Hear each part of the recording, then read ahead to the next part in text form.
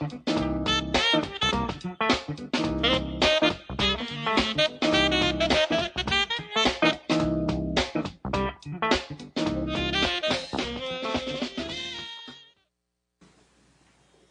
¿Qué tal queridos amigos? ¿Cómo se encuentran? Transmitiendo con el gusto de siempre desde esta hermosísima ciudad de Querétaro en México país. Tenemos un día esplendoroso y vamos a tener de igual forma un programa esplendoroso, un espacio para pensar bien. Para quienes nos escuchan por primera vez, este es un programa de principios metafísicos. Estamos estudiando metafísica. ¿Qué es la metafísica? Es todo aquello que subyace, que está más allá de lo que vemos. Sean ustedes bienvenidos.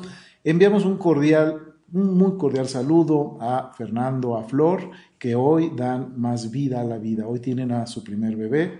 Eh, un abrazo desde nuestro corazón con todos aquellos sus compañeros de clase. Y también quiero enviar un cordial saludo a la doctora Sara Espinosa por sus atinadas observaciones, por sus aportaciones a este programa. De igual forma, a todos aquellos que nos siguen semana a semana y les comento, les recuerdo que tenemos nuestro canal abierto en Facebook donde gustosamente recibimos todas sus observaciones, comentarios, ampliaciones. Es todo un placer poder estar compartiendo con ustedes esto que llamamos la verdad de la vida, la ciencia de la vida, la ciencia del ser. Bueno, pues comenzamos y como ya es costumbre, vamos a revisar la tarea. ¿Cuál fue la tarea del programa anterior?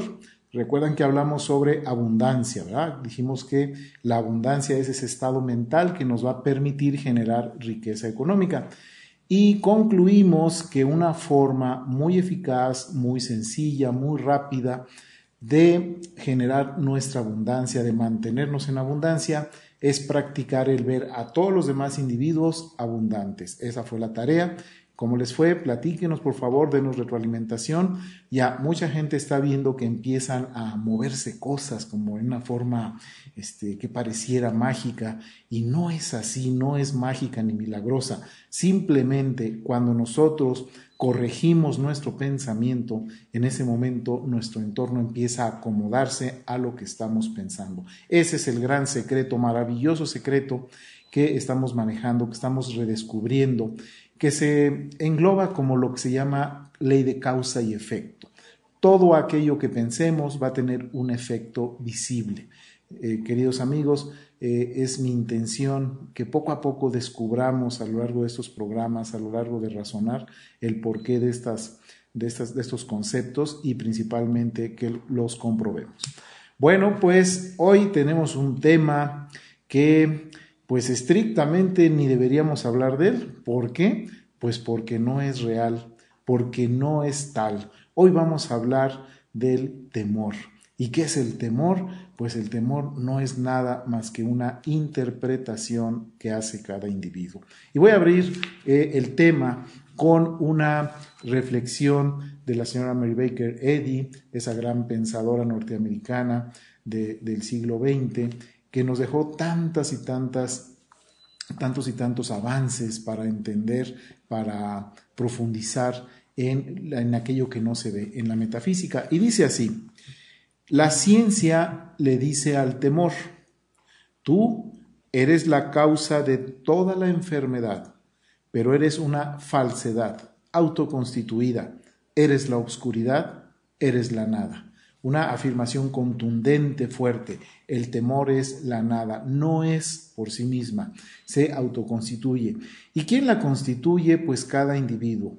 Voy a hacer remembranza de lo que hemos, los conceptos principales que hemos manejado aquí, principalmente que somos un ser mental, cada uno de nosotros es un espíritu, es un alma, es un ser de luz que está viviendo una experiencia transitoria donde se manifiesta un cuerpo, pero de ninguna manera somos ese cuerpo, el cuerpo no nos identifica, somos un ser mental.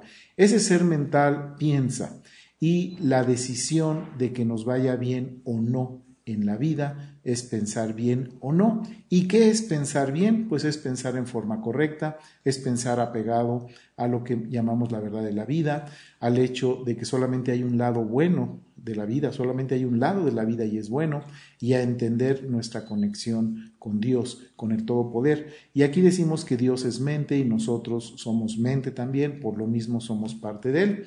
Entonces, habíamos concluido que el amor es pensar bien, es esa intención, es esa acción, es esa voluntad, es ese pensamiento orientado correctamente. Cuando nosotros nos salimos de ese pensamiento bueno y correcto, estamos temiendo. Entonces, el temor es el, opuesto al amor, sin embargo, no es que exista por sí mismo. Así como dijimos que el mal es ausencia de bien, también podemos decir que el temor es ausencia de amor. De hecho, podríamos sustituir la palabra temor por error. Se está cometiendo un error. Pero el temor es una interpretación, queridos amigos, que cada quien hace de sí mismo. Solamente hay una cosa, solamente hay una fuerza, solamente hay un poder y ese es el pensamiento bueno. Cuando ejercemos muy poquito de ese pensamiento bueno, estamos temiendo, ¿sí? estamos alejándonos de lo que es el amor, pero finalmente podemos decir categóricamente que amor y temor son la misma cosa en extremos de un mismo continuo. Todo es amor, no hay nada más. Todo es pensar bien. Cuando no lo ejerces, le llamamos temor. Y obviamente, pues las consecuencias son en ese sentido.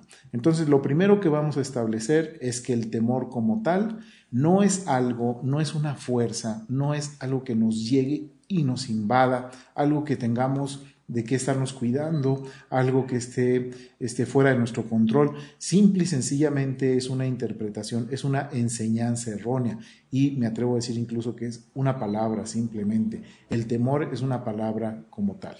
Bueno, em, el temor como tal no es, pues no tiene esencia ni realidad. Lo que sí podemos identificar claramente son pensamientos o sentimientos de temor.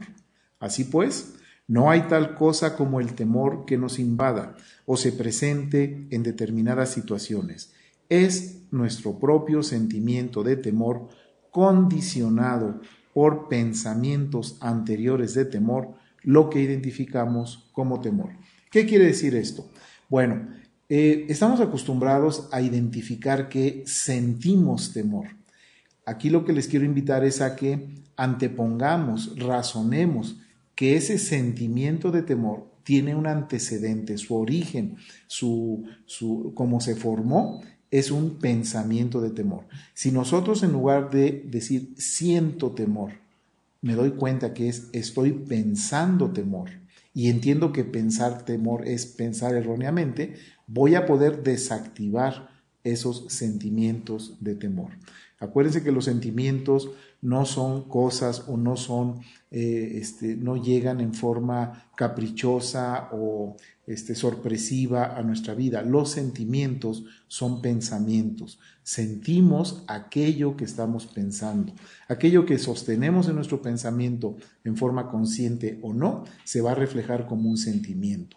Si yo estoy pensando amor, estoy pensando bien, voy a sentir amor. Si yo estoy pensando erróneamente, voy a experimentar lo que llamamos temor. Pero finalmente, fíjense qué, simpleza de la metafísica, tanto el amor como el amor son pensamientos, donde cada individuo tiene el gobierno, la capacidad de decidir esto sí lo pienso, esto no lo pienso. O sea, amamos a voluntad, o tememos a voluntad. Por eso les decía al principio del programa que el temor pues es algo que hay que desactivar, es el objetivo de este programa en especial, desactivar el temor como tal, desactivar que es algo que nos pueda amenazar o que, o que es algo incluso natural que sintamos. Eso no es cierto.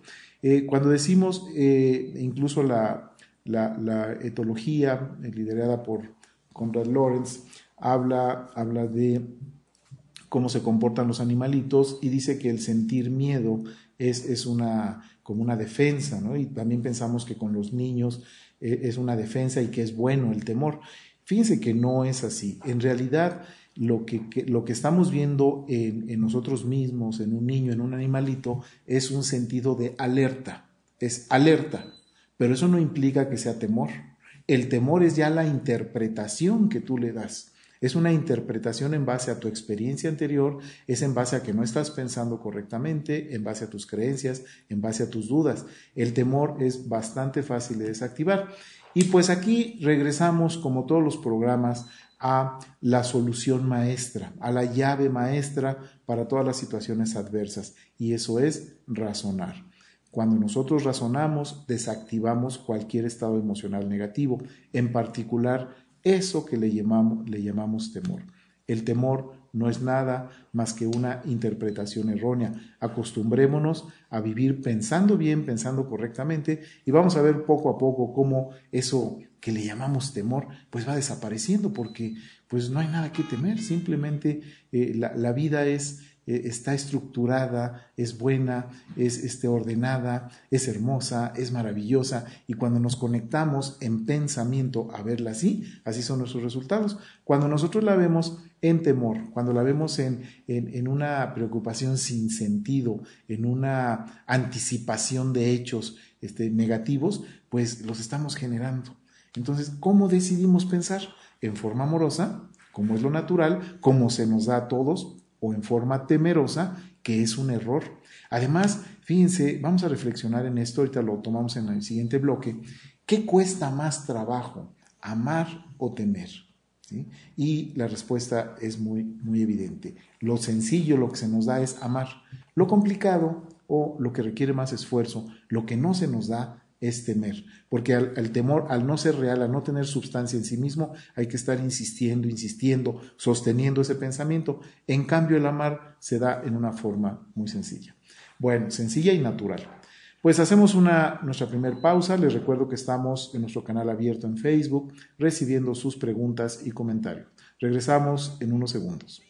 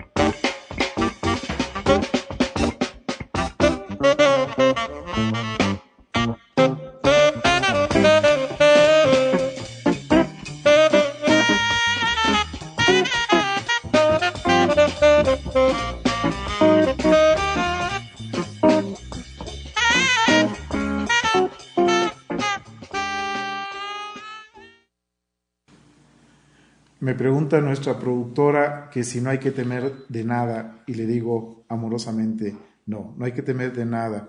Eh, cuando tú aprendes a razonar, prácticamente no aparece en ti el temor hacia nada. Y esto lo voy a soportar con una, eh, una cita de esta gran señora, eh, María Curie, Madame Curie, que dice, en esta vida no hay cosas que temer hay cosas que comprender. Y ahí nos está mandando el mensaje, no temas.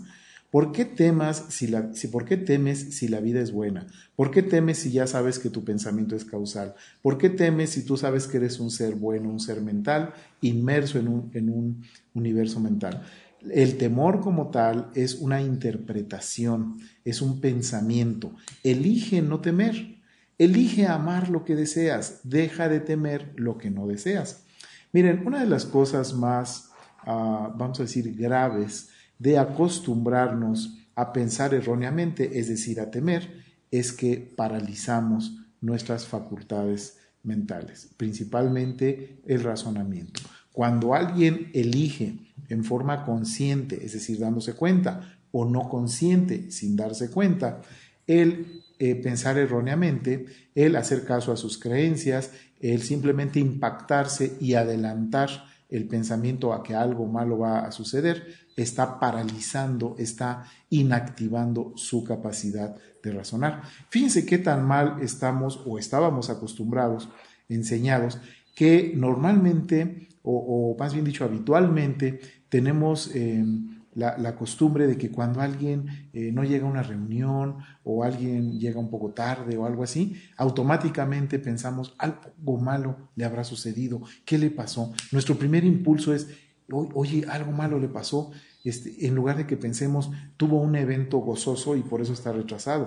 En general, nos anticipamos a pensar erróneamente. ¿Por qué? Porque eso es lo que tenemos enseñado.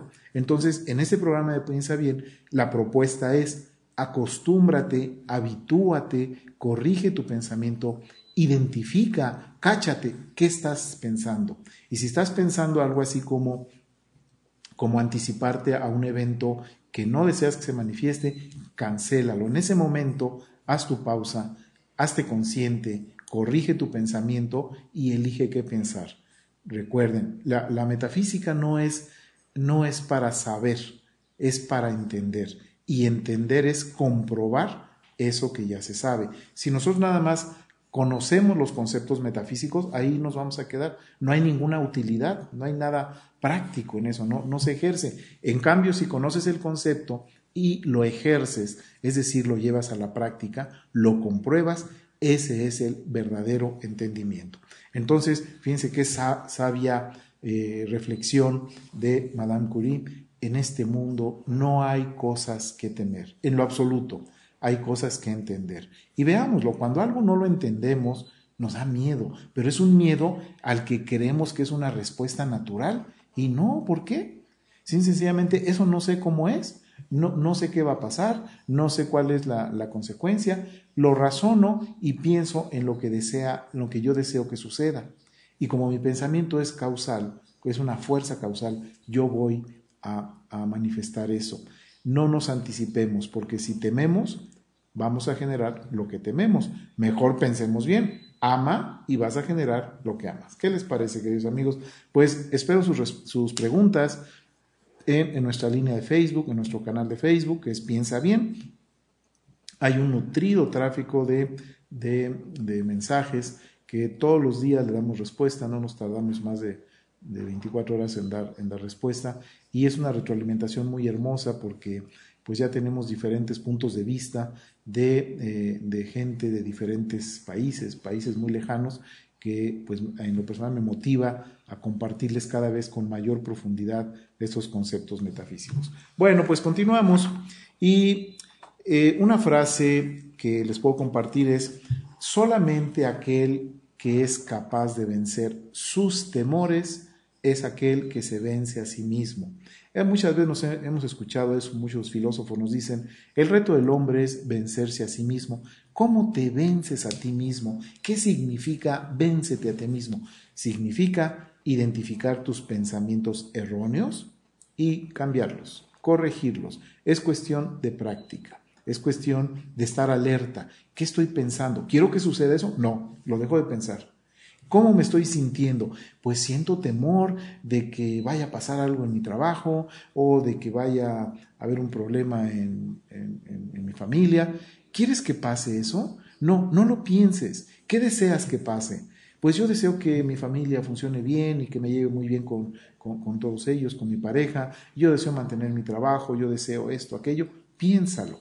Un ejemplo clarísimo, muy claro de esto, está en la, en la Biblia en el libro de Job.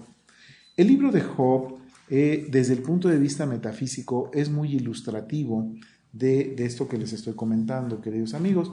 En el libro de Job se habla de que este hombre eh, piadoso, este hombre bondadoso, este hombre seguidor de los lineamientos de, Dios, del Todopoder, eh, pues disfruta de una, una gran abundancia, disfruta de una familia este, eh, grande y con la que este, tiene una buena relación, disfruta de salud y tiene una posición de privilegio que se atribuye bíblicamente a que Dios le ha dado esto. De repente, en alguna situación, pues este Job pierde todo, pierde sus propiedades, su familia, su salud, queda todo llagado y eh, él sigue Ah, pues con esa ah, devoción, con esa eh, pleistesía a su Dios. Y la esposa de Job le dice, ¿por qué sigues adorando a tu Dios cuando te ha quitado todo cuanto tenías? Y la respuesta de Job es, lo que Dios me ha dado, Dios me lo ha quitado y Dios me lo va a resarcir. Pero Job entiende que no habla de un Dios externo que esté decidiendo ahora tienes, ahora no. Job está hablando de que su propia mentalidad, él como parte de Dios, como esa partícula de Dios, como esa, esa mente individual inmersa, creada dentro de la mente total, dentro de la mente este, todopoderosa, es eh, el, la, fuerza, es el, el origen, es la causa de que esté en una condición de abundancia de salud o no. Entonces, cuando lo vemos desde un punto de vista metafísico, decimos, ¿cómo te está yendo? Pues este, me está yendo mal, este, no se dan los negocios, este, tengo estos problemas y todo. Tú lo estás generando con tu propio pensamiento. Cuando tú entiendes esto, la vida se vuelve mucho más sencilla, pero mucho, mucho más sencilla, porque tú ya tienes el gobierno de cómo quieres experimentar la vida. Por eso es tan importante, por eso la insistencia de corregir, de apegarnos a pensar bien. De ahí es donde surge el, nombre de este programa. Piensa bien, acostumbra de todo el tiempo, piensa bien, no te dejes llevar por las apariencias, por la, ah, la adversidad. Tú ve con ojos humanos, identifica el error, pero ve con tus ojos mentales, ve con tu pensamiento lo que tú deseas manifestar y todo se va a ir corrigiendo. Entonces, eh, el, libro de Job se puede resumir en una frase coloquial que dice, lo que más temí vino a mí. Bueno, pues entonces, si así funciona esta vida, pues yo ya no temo, ya no pienso erróneamente para generar entonces lo que sí deseo. Qué sencillez, ¿verdad? Es, algo que, que, hay veces que me dicen, Rafael, tú eres muy este, iluso, eres eh, muy ah, como que vives en una burbuja dentro de, este, dentro de este mundo.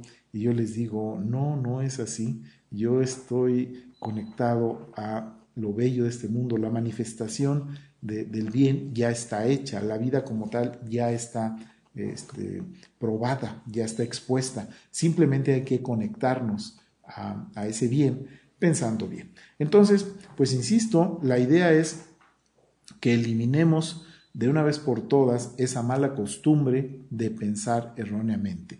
De esta forma estaremos eliminando el temor, el sentimiento de temor en nuestra experiencia de vida. No temas, no temas, razona, entiende, sustituye una creencia, sustituye un sentimiento de preocupación, de agobio, de, de, no sé qué hacer, un sentimiento paralizante, por una certeza de que tú sabes entender las cosas, sabes por qué funcionan y entonces tu vida estará en amor, no en temor. Muy bien, pues en el siguiente bloque vamos a hablar un poquito de qué cosas son las que este, provoca o, o, da lugar que derivan cuando tú te acostumbras a pensar en temor. Les recuerdo que estamos en nuestro canal en Facebook, Piensa Bien, donde esperamos todas sus preguntas y comentarios. Regresamos.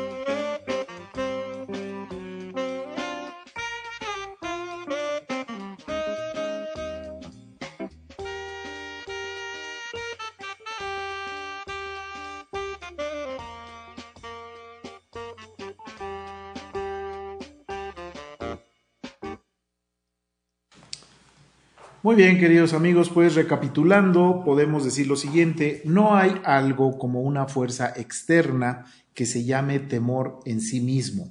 Hay pensamientos de temor que se derivan, que se convierten en sentimientos de temor. Entonces, el temor no es algo, pues valga el, pleonasmo, a lo que haya que tenerle temor, ¿verdad? No, no, no hay que temerle al temor porque el temor no es, es como el, famoso coco de los niños, es, es una, un constructo hipotético, una figura que está en nuestra imaginación errónea y que nosotros le damos la fuerza, eh, pues eh, en base a lo que interpretemos. Bueno, pues les comentaba cuáles son los, los riesgos o cuáles son las consecuencias de acostumbrarnos a pensar erróneamente, es decir, a pensar temerosamente. Eh, lo primero es que se va a, demeritando, se va denostando, se va afectando, degradando el concepto que tenemos de nosotros mismos. La vida es maravillosa, la vida es buena, la vida es perfecta, la vida es esencialmente y totalmente buena. Cuando no hacemos contacto con esa vida, nos estamos saliendo del flujo natural de lo que somos. Cuando estamos pensando ese temor, ese error, estamos pensando mal de nosotros mismos. Cuando uno está pensando mal de sí mismo, deja de usar todas sus maravillosas facultades mentales. Después de esto, al no reconocerlas en ti, dejas de reconocerlas en los demás. Y ahí empiezan ya este, pues unas consecuencias indeseables totalmente. Ya bastante graves que tú pienses mal de ti mismo, que, que no te acostumbres a pensar bien, que no reconozcas la belleza este, en la vida, pero que ya llegues al plano de extenderlo a tus semejantes, pues eso ya se llama odio. Cuando alguien está odiando o tiene un sentimiento de detestar, de rechazar, de estar viendo los errores en los demás, ¿qué creen? En realidad se está viendo a sí mismo, en realidad se está este, observando a sí mismo, está reflejando en los demás lo que, lo que está viendo en él. Un, cuentito breve que les puedo compartir es el siguiente. Estaba eh, un hombre sentado a la entrada de un pueblo, y llega un forastero y le pregunta, este, dígame, este buen hombre, eh, ¿cómo es la gente en este pueblo? Y el, el, hombre que estaba ahí sentado le dice, ¿cómo es la gente del pueblo de donde vienes? Y le dice, no, la gente de donde vengo es de lo peor, es gente mala, abusiva, tramposa, este, es gente muy fea y, yo precisamente por eso me estoy saliendo de ese pueblo, porque toda la gente ahí es mala onda, como dicen los chavos. Y dice, ah, está bien. Acto seguido llega un segundo forastero y le pregunta a este mismo hombre que estaba sentado, y le dice, dime, buen hombre, ¿cómo es la gente que vive en este pueblo? Y él le hace la misma pregunta, ¿cómo es la gente del pueblo donde vienes? pues la gente donde vengo es hermosísima, es gente bondadosa, es gente amable, es gente buena, es gente noble. Realmente yo no quería abandonar ese, pueblo, pero tengo que buscar mejores perspectivas, pero la gente del pueblo donde vengo es gente muy buena. Y este hombre le contesta, en este pueblo también la gente es muy buena. Y entonces el primer hombre le dice, oye, me acabas de decir que la gente en este pueblo es mala. Y a este segundo hombre le dices que la gente es buena. ¿Por qué? Porque la gente te da lo que tú piensas de ella. Si tú ves el amor en ti mismo, eh, el bien, puedes verlo en los demás. Si tú ves ese error, si tú no te, no te reconoces en tu esencia buena, vas a empezar a ver lo mismo en los demás. Entonces, ¿qué esperas que te compartan los demás? Lo que tú compartes. Si tú compartes bien, vas a, recibir bien. Si tú compartes amor, que es pensar bien, vas a, recibir amor. Pero si tú compartes errores, si tú compartes interpretaciones erróneas, es lo mismo que vas a recibir. Miren, en un, estricto, en un sentido ah, pues, eh, estricto, pero a la vez ah, muy eh, práctico, yo le, digo a mis alumnos presenciales mi intención es que nos convirtamos en un transformador de el error a lo correcto. Es decir, que si los demás te ofrecen una palabra eh, grosera, si te ofrecen una acción eh, desagradable, si te ofrecen un, error, un error, una mala cara, una, este, este, pues una mala acción, tú tengas la capacidad, la serenidad de devolver el bien. Recibes el error y contestas el bien. Esto no quiere decir que seas alguien que sea dejado, que esté este, pues, aguantando todo. No. Acuérdense que aquí ya establecimos que nos manejamos a dos niveles. A un nivel humano, a una en forma cordial, en forma educada, tú este, pones tus lineamientos, principalmente con los hijos, y las cosas son así y especificas. Pero lo importante es que tú estés pensando bien del otro individuo a pesar de que te esté ofreciendo un error. Eso es justamente cambiar el temor por amor, el error por lo correcto. Entonces, pues es algo que vamos a lograr practicando. Eso es todo lo, lo, que este, lo que requerimos. Practicar. Piensa bien de ti y podrás pensar bien de los demás. Reconoce todas tus cualidades. Siéntete en toda la extensión de la palabra hijo de Dios. ¿Qué es ser hijo de Dios? Pues es estar a imagen y semejanza de todas las buenas facultades que Dios el Todopoder es y posee. Si tú eres una extensión de ese todopoder bueno, maravilloso, pues lo vas a ejercer contigo y con tus próximos, con tu, con tu prójimo. Muy bien, entonces eh, el odio además, em, eh, o ese, el, odio no, no es hacia los demás, es hacia ti mismo, pero esa actitud de odiar eh, va a empezar a derivar en enfermedades, principalmente en cáncer.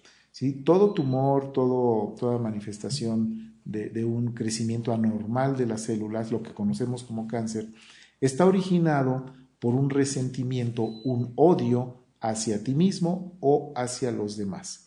Eh, y además es no expresado, es decir, está guardado. Por eso si se fijan, eh, la mayoría de la gente que experimenta este, pues un cáncer eh, es gente bondadosa, es gente que se ve buena, es gente con una apariencia este, dulce. Y, es muy común que digamos, bueno, pero a tal señora tan linda que es tan buena, este, ¿cómo es que le da cáncer? Y, este, ¿Y por qué será?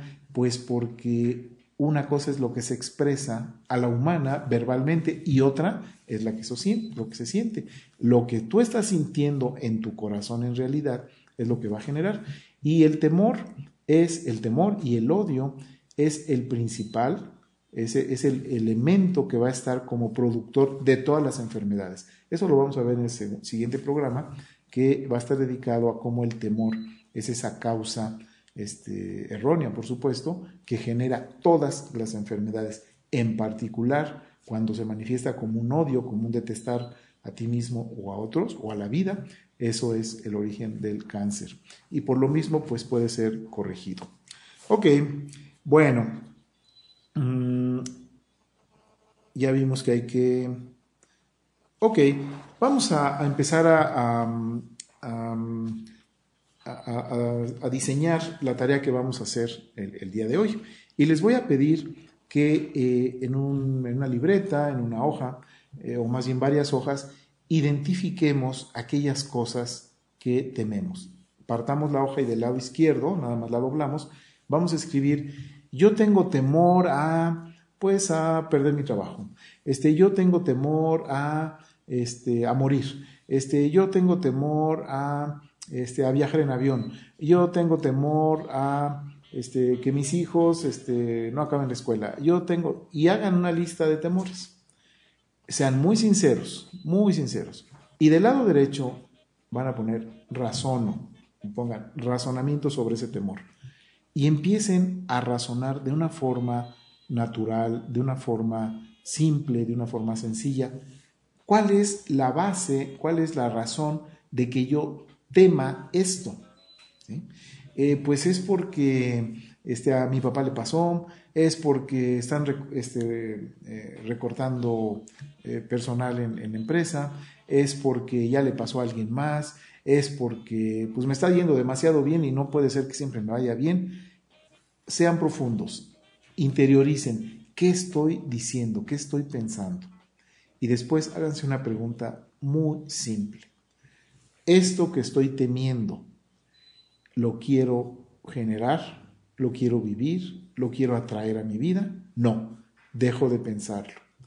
Voy a razonar que lo correcto, lo que yo merezco, igual que mi familia, lo que agradezco, el, ejercer el privilegio de estar en esta vida es que me vaya bien, que, que el, pensamiento correcto impere. Si yo razono con esta simplicidad, voy a decir, pues como que no me conviene temer eso, que no tiene una razón, porque además mi vida, en su, en su mayoría, a todos, ha sido buena. Tan es así que aquí estamos, todos.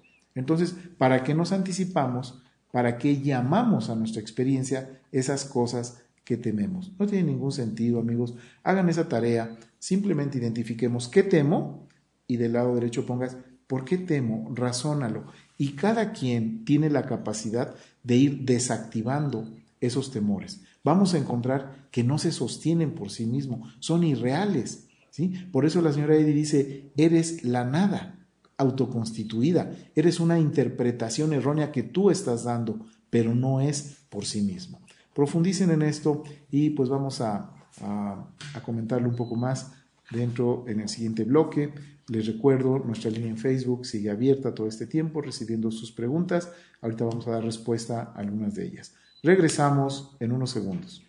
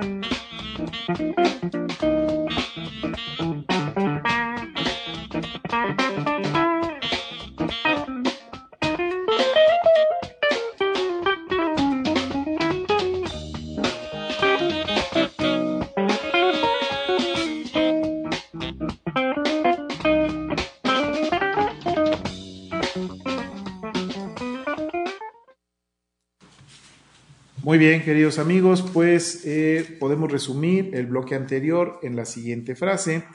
El odio es lo mismo que el temor. El odio es lo mismo que el temor. El sentimiento de odio a los demás es un temor a ti mismo, es falta de amor a ti mismo, falta de pensamientos buenos de ti para ti. Aquel que aparentemente expresa su odio a alguien en realidad está revelando su propio autodesprecio, porque no se ama, porque no se reconoce, porque no se agradece a sí mismo, porque no sabe quién es. Eh, debemos saber quiénes somos. Somos seres mentales buenos, somos almas buenas, somos espíritus buenas. A la humana, conductualmente, tenemos muchos errores, pero hay que separar al individuo, a su esencia, de sus condiciones, de sus actos, de sus conductas. Una cosa es cometer errores a la humana y otra cosa es la esencia. La esencia nunca se altera. La esencia siempre es perfecta y es buena. La esencia en sí misma es parte de Dios. Es imposible suponer que la esencia se vaya modificando. Sí hay gente que comete errores muy graves y que son muy reprobables y que hay que corregirlos. Pero aún ese individuo, por más mal portado que sea, es un alma buena, nunca va a dejar de serlo.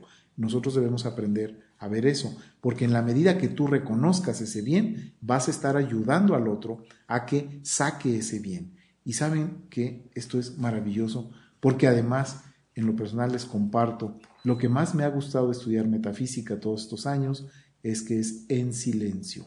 Todo el tratamiento, toda esa corrección de pensamiento es en silencio. Tú mismo simplemente piensas, puedes estar llevando una interrelación humana, conductual, visible, pero tú en tu pensamiento, en tu reino mental, estás conectado en el bien. Y cuando tú estás conectado en el bien, todas esas apariencias, todas esas manifestaciones empiezan a cambiar poco a poco y, y dices, bueno, pues este individuo es aparentemente muy malo con todos los que lo conocen, sin embargo, a mí me trata bien, conmigo me da lo mejor de él, pues ¿por qué es? Porque yo estoy pensando bien. Entonces, suprimamos el sentido de odio, porque pues además, como, como les digo, no nos conviene, ya, ya no en una conveniencia de, de, abuso, sino este, nos conviene pensar bien, porque así hasta nos mantenemos sanos, como es nuestro estado natural. Bueno, em, dice nuestro queridísimo y respetado William Walter, que es el, puntal, es, la, base eh, de pensamiento de toda la metafísica moderna, de toda la metafísica científica comprobada, este, el gran Walter que vivió a principios de, del siglo pasado, eh, él dice eh, en pocas palabras que una cosa es decir que dejes de temer y otra cosa es enseña cómo dejar de temer. Sus palabras exactas son estas.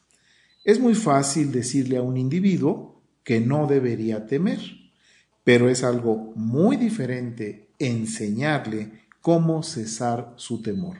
Entonces, eh, pues todos en esta vida somos maestros unos de otros. ¿Cómo será que podemos propiciar, que podemos invitar, que podemos ayudar a otros individuos a no temer.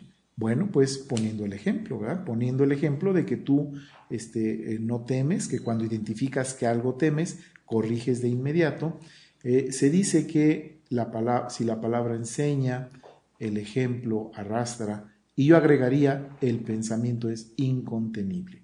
Si tú te acostumbras a pensar bien, a amar, sin decir una sola palabra al respecto, estás poniendo ese ejemplo mental a tu familia, a tus compañeros de trabajo, a toda la gente con la que te relacionas, porque empiezan a observar que tú estás en un estado de paz, de serenidad, de armonía.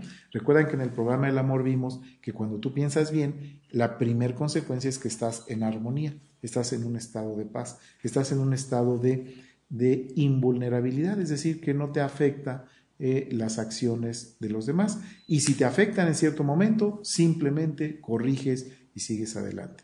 Entonces el señor Walter nos dice, ¿cómo enseñaremos a los demás? Bueno, pues enséñales a razonar. Pon el ejemplo, piensa bien de ellos, compórtate, sé coherente con lo que piensas, con lo que dices, con lo que haces. Es decir, vive coordinadamente con el bien, conectado al bien. Cuando tú haces eso, te conviertes en un, eh, en un maestro, en un enseñador de cómo es la vida. Y los demás seres, todos que son buenos, perfectos, van a captar eso aún sin darse cuenta y en consecuencia van a empezar a reaccionar. Ahora, todo esto que les digo hay que comprobarlo. ¿sí? No es nada más, este, pues suena muy bonito, me gusta escuchar esos conceptos, pero hay que comprobarlos. Y la comprobación empieza con uno mismo. Recuerden, el camino, el camino este, empieza por piensa bien de ti mismo. ¿Qué es pensar de bien, bien de ti mismo? Oye, pues a mí me gusta este, cómo, este, cómo, cómo trabajo, este, cómo cocino, eh, me gusta cómo bailo, eh, me gusta cómo encuentro soluciones a, los problemas, me, gusta que soy inteligente, me gusta este, que soy jovial, me gusta que, este, que, que ayudo a los demás, empiecen a identificar todo lo bueno que tenemos. Todos tenemos todas las cualidades buenas de Dios. La paciencia, este, la, nobleza, la generosidad, e, el compartir. De hecho, hagan un ejercicio, se lo recuerdo, ya, ya lo habíamos comentado. Abran un diccionario y empiecen a revisar todas las, las buenas cualidades de un individuo. Todas, hay muchas que ni siquiera este, acostumbramos a utilizar este, rectitud, gentileza, etcétera, vayan haciendo una lista y se van a encontrar que todas son sinónimas del bien. O sea, todos, todos los buenos calificativos, que son más de 600, por cierto, van a encontrar que todos son sinónimos del bien. Cuando tú reconoces esas cualidades, esas facultades mentales en ti, te estás amando. Cuando tú te estás amando, estás en armonía. y estás irradiando todo ese buen pensar a los demás. Estás enseñando a los otros. Estás eh, poniendo el ejemplo. Estás siendo coherente con tu pensamiento. Y además acuérdense que cuando nosotros estamos pensando, estamos irradiando, estamos transmitiendo todos esos buenos pensamientos correctos, todos esos pensamientos eh, amorosos, naturales a los demás. Y entonces hay una comunicación permanente de pensamientos entre todos los seres. Y respondemos a eso, respondemos al amor. Así es como se enseña a dejar de temer. Y la otra, este, eh, pues el otro método, digamos, o la otra acción que podemos hacer es enseña también de palabra qué es razonar. Razona, ¿a qué le temes? O sea, ¿cuál es el sustento? ¿Por, ¿Por, qué temes algo que no ha sucedido? ¿Por qué temes algo que crees que va a pasar? ¿Por qué te inclinas a pensar que eso está mal? ¿Por qué, por qué le das fuerza a ese error? Y si hay algo evidente en lo que estés temiendo, razona cómo desactivarlo. Eh, todo, toda la fuerza al temor la estás dando tú. Tú estás dándole ese soporte a sentirte temeroso. No es que algo te invada. Nada viene de fuera. Todo surge de ti hacia fuera, de tu propio pensamiento. Bueno, y complementando esto, otra característica de, del bien, del mal, es que el bien como tal se exponencia. ¿Qué quiere decir esto? El bien se, magnifica, ¿sí? explota, e, e, el, bien se, exponencialmente se desarrolla. El error o el así llamado mal o el así llamado temor simplemente se acumula. De hecho, en metafísica sabemos que es mucho más fácil generar el bien que el mal, porque el mal o el error o el temor requiere mucho esfuerzo, requiere estar ahí duro y duro y duro, pensando en lo que temes, pensando en el error, pensando en, esa equivocación, en esa maldad. En cambio, el bien se da en forma natural, solito va saliendo y basta un pensamiento, bueno, un pensamiento de chispazo para que este, se, manifieste. Bueno, pues vamos a ir concluyendo este bloque. Tenemos aquí dos preguntas una es de Josefina Zulbarán de Trujillo, Venezuela. Un saludo hasta, hasta Venezuela. Y dice, ¿por qué he vivido toda mi vida con miedo? Bueno, pues mi querida José, es porque te has acostumbrado a identificar el error, porque crees, supones, estás en un autoengaño de que hay cosas feas, malas, externas, este, externas a ti porque tienes el hábito de pensar el error, tienes el hábito de temer. Cuando tú ese, eh, no te das cuenta de eso y lo, lo mantienes, lo sostienes, crees que la vida es un, un, continuo de sucesos a los que hay que temer. Y eh, apoyémonos en lo que dice Madame Curie, no temas, entiende, comprende, aprende, identifica por qué, eh, identifica, comprueba que no hay algo que sustente tu temor. El temor no, no es algo que por sí mismo te pueda este, asustar. Es la interpretación que tú estás haciendo de la vida errónea, por eso estás diciendo, ¿por qué he vivido toda mi vida con miedo? Porque toda tu vida has estado interpretando erróneamente la vida, porque no te has dado cuenta que la vida es buena, es maravillosa, que el hecho de que tú ya estés manifestado con tu vida, con tu capacidad de pensar, con, con toda esa, e, esa playa de, de buenas características, no las estás reconociendo. Entonces te sientes desprotegida, vulnerable, y a eso le llamas estar temerosa. Una segunda pregunta de Yasmín Lisbeth Duque de San Cristóbal, en Táchira, también en Venezuela. Un saludo a la hermana República de Venezuela. ¿No es el temor una reacción natural? Bueno, pues lo, comentamos al principio, eh, se cree que temer es algo bueno. ¿sí? Eh, los niños deben temer para protegerse. Claro que no. Los niños deben aprender a razonar que en tal situación no se deben acercar o no es conveniente que hagan algo, pero entendiendo, no temiendo. Cuando enseñamos a nuestros niños a través del temor a, que se alejen, estamos enseñándolos a no razonar, a que simplemente tengan una, una reacción, a este, eh, pues vamos a llamarle eh, una, una, reacción automática en la que no, no identifican qué está pasando, no entienden, simplemente es teme y, y eso lo van ampliando. Entonces se van acostumbrando a temer aquí, a temer allá, a temer por, por todas las situaciones que tienen en su vida y eso no es conveniente. Entonces, no es natural temer. ¿Por qué? Porque lo natural, lo correcto es amar, lo correcto es el bien. Por eso es la importancia de, de los conceptos este, básicos, de que solamente el bien tiene realidad, solamente el bien es la única fuerza que, que es la única fuerza que mueve todo. Cuando entendemos eso, todo lo que está fuera del bien es un error, pero no tiene una fuerza por sí misma, no es una realidad.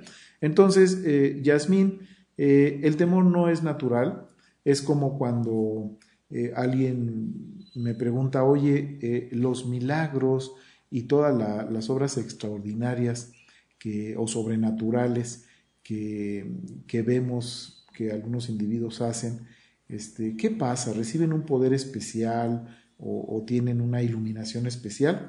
Y yo les contesto, no, es totalmente natural. Lo que pasa es que los que no lo hacemos no hemos encontrado esa conexión con, con, ese bien, pero estrictamente no hay milagros. Los milagros son cosas que hacen algunos individuos y que los demás no entendemos, pero cuando se entiende algo, deja de ser un milagro. Es decir, cuando entiendes, cuando razonas cómo se hace y lo logras hacer, se convierte en algo natural. Por ende, el así llamado temor no es natural. Entonces, Yasmín, Josefina, ambas amigas de, Venezuela, desactiven ese temor. Ese es el, mensaje, esa es la, la, este, pues la propuesta de este programa. Desactivemos el temor, no hay razón para seguirlo sosteniendo en nuestras vidas. Bueno, pues vamos a, dejar una, tarea adicional eh, en este programa. Por un lado, hagan esa lista, hagan esa mm, pues eh, recuento de cosas que aparentemente tememos. Y la siguiente tarea va a ser practicar chispazos de buen pensamiento. ¿A qué se refiere? Todo aquel individuo que percibamos que esté en un error, que pues, que, que nos caiga gordo, que no nos guste compartir con él, piensen, es un ser bueno, es un ser amoroso y yo lo amo. Tres segundos, cinco segundos, piénsenlo y ya, desentiéndanse. Cuando lo vuelvan a ver, piensen lo mismo. Alguien que no nos cae, simplemente es un ser bueno, es un ser mental como yo, es un ser maravilloso, es un ser amoroso y yo lo amo. Al principio hasta les va a dar risa, van a decir, ¿cómo estoy diciendo esto de alguien que, pues, que está siendo tan, tan grosero, tan, tan erróneo conmigo? Eh, hagan ese esfuerzo, hagan esos segunditos, inviértalos. Inviertan en, pensar esos chispazos de amor hacia los demás. Este, van a ver cómo en forma este, aparentemente eh, eh, pues, milagrosa, aparentemente que quién sabe de dónde sale, intempestiva, el otro individuo va a ir modificando poco a poco con esos chispazos. No le estoy pidiendo que piensen bien todo el tiempo de los otros, nada más cuando perciban algo que les incomoda, piensen bien de ese individuo diciendo, es un ser mental bueno, amoroso, yo lo amo. Ya, nada más. Aunque no se la crean, no, no pasa nada. Simplemente estamos corrigiendo nuestra forma de pensar y eh, sin darnos cuenta estamos eliminando el temor. Cuando tememos algo es algo que no entendemos. Cuando entendemos y razonamos, el temor se desactiva. Pues esa va a ser nuestra tarea para el, programa de hoy. los espero en el siguiente programa, donde vamos a hablar del temor como esa causa común, como esa, este, ese factor presente en todas las así llamadas enfermedades. Hoy estamos proponiendo desactivar el temor. El temor no es nada, el temor es una palabra, el temor es una interpretación, el temor es un error de pensamiento, el temor es algo que nosotros construimos cada quien para sí mismo. Debemos estar alertas, captar los errores, mas no temer, porque cuando tú interpretas eso como un temor, te paralizas. En ese momento ya no haces nada, cancelas el uso de tus facultades. Entonces, queridos amigos, pues esa es la invitación de hoy. Les agradezco mucho, mucho que nos acompañen. Eh, cada vez somos más en esta, en esta página de Piensa Bien. Ya estamos poniendo este, más, más spots, más eh, posts referentes a los temas que estamos viendo aquí. Y bueno, pues todavía nos quedan muchos temas por tratar. Eh, con mucho gusto, a mí me encanta recibir sus dudas, sus preguntas para darles respuesta, ya sea vía escrita o a través de este programa. Y pues no me queda más que despedirme el día de hoy, a disfrutar este maravilloso día, esplendoroso día, desde donde les mando un amoroso, amorosísimo saludo con todo mi buen pensamiento. Muchísimas gracias, nos vemos la próxima semana. Gracias.